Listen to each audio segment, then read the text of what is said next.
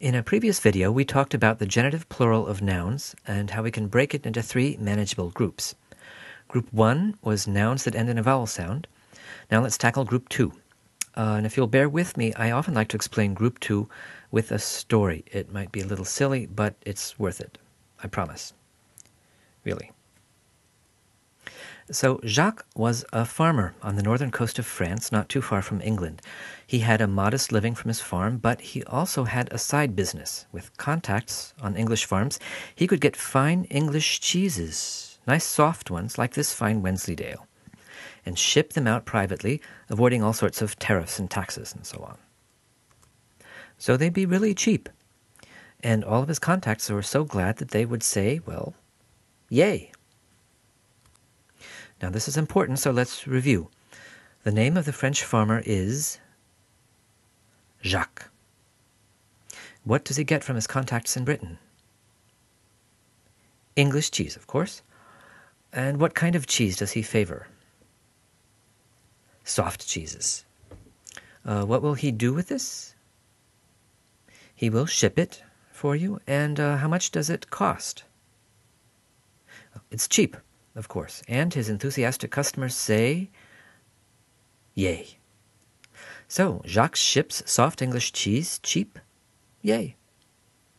Now, what if we were to take the highlighted letters here and put the Cyrillic equivalents down there?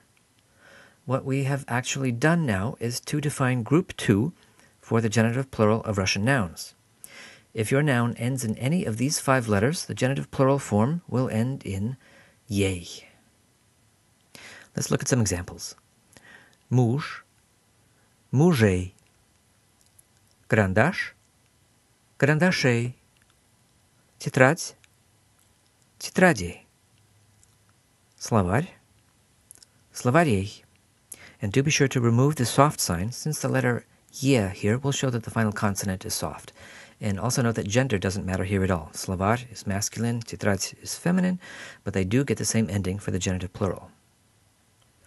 Plash, plashei, vrach, vrachei. Now there are some nouns that do break the pattern, so you might try visualizing your favorite uncles and aunts, maybe your neighbors too, uh, if they aren't wonderful people, imagine that they are, so that you want to say yay when you see them as well because these common words, sosed, tетя, дядя, also fall into group two. Now, they shouldn't because they don't end in any of Jacques' special letters, but we do say соседей, тетей, and дядей for the genitive plural. And let's remember that the words mать and дочь add er before any grammatical ending, so we'll have genitive plural forms матерей and дочерей. Summing up, Remember that Jacques ships soft English cheese cheap, yay, And you'll always know that any noun ending in one of these five letters ends in ye in the genitive plural. Uh, and if a word ends in a soft sign, do remember to drop the soft sign when you add the yay.